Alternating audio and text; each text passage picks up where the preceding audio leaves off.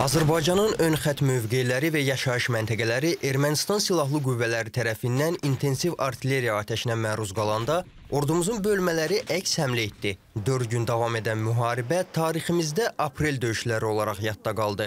Döyüşlərdə ermənilərə məxsus 30 tank, 15-ədək artilleriya qurğusu və möhkəmləndirilmiş mühəndis qurğuları məhv edildi. Düşmənin 320 hərbçisi öldürülməklə yanaşı 500-dən artıq hərbçisi yaralandı. Ümumilikdə aprel döyüşlərinin yekunu olaraq Azərbaycan ordusu tərəfindən 2000 hektardan artıq ərazi erməni işğalından azad edildi. Döyüşlər Azərbaycan ordusunun qələbəsi ilə nəticələndi.